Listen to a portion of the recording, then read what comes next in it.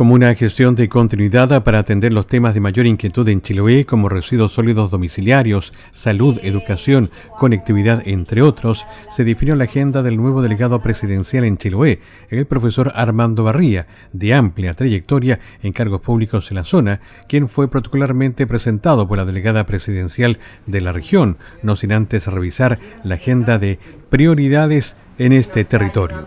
Que hemos estado conversando acerca de eh, temas de residuos sólidos domiciliarios. En la tarde vamos a reunirnos con Ceremi para continuar con, los temas que tienen que ver con conectividad en la provincia de Chiloé y, por supuesto, ya eh, un comité policial que nos va a permitir abordar los temas de seguridad, que también es algo que estamos trabajando a través del fin de año seguro, nuestro plan que contempla distintas fiscalizaciones, controles y un trabajo con nuestras policías para persecución delictual para que todas las personas tengan una feliz Navidad, ¿verdad? Y un año nuevo seguro. El profesor Barría, quien eh, ostenta en su currículum cargos como ex gobernador en Palena y ex director provincial de educación en Chiloé, se mostró abierto para el diálogo y trabajo transversal con los temas que dijo inquietan a la comunidad isleña. En primer lugar, con mucha tranquilidad.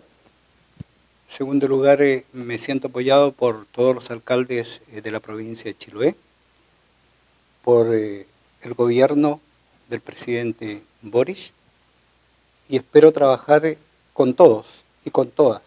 Creo que una de, de mis caminos en la vida ha sido el diálogo con todos. Creo que también tengo un ámbito muy transversal para el trabajo y soy un poco trabajólico cuando me dan la posibilidad de trabajar. Se va a continuar con todos los trabajos iniciados con la delegada anterior y se acelerarán algunos temas que han estado un poco dormidos y el tema de educación lo trataremos con la gente de educación, hay un poco de experiencia en ese tema, así que allí lo conversaremos y a lo mejor algunas novedades interesantes van a salir en el transcurso del tiempo. ¿Cuáles son los, temas medio dormidos que dice usted? Los temas medio dormidos, yo creo que los residuos, pero de las empresas. el tema de los, de los hospitales, el caso del hospital de Castro, ¿no es cierto?, eh, que había un sitio eh, demasiado grande, pero para el tema arquitectónico es demasiado chico. Por lo tanto, una de las primeras reuniones que vamos a hacer a nivel de la provincia va a ser precisamente con salud. Posteriormente continuaremos con educación.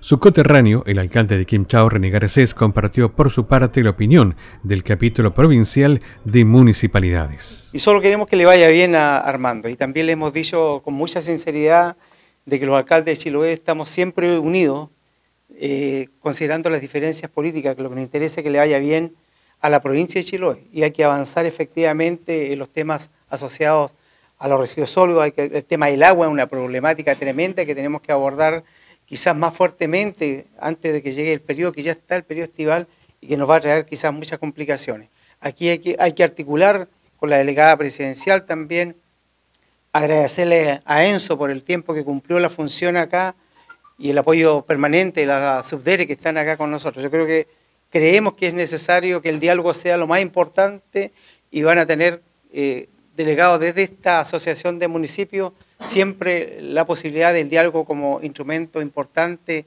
en poder socializar y avanzar con las comunidades, con las comunas y poder lograr objetivos que en el periodo que usted esté lo podamos lograr. Yo creo que hay retos importantes, pero lo importante es que estamos, queremos a un Chiloé unido de todas sus autoridades para avanzar. El nombramiento del nuevo delegado presidencial en Chiloé de afinidad al socialismo, pero renunciado a este partido, aclaró, generó consenso entre los actores políticos de la zona, quienes habían mostrado críticos tras el retraso de poco más de un mes tras la vacancia y subrogancia producto de la renuncia presentada al cargo por la delegada Mariela Núñez.